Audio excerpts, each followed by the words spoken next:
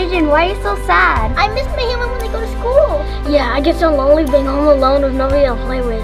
Well, I have some good news for you then. You get to come to school. What? When? Wednesday, August 30th. Cougar Kids TV.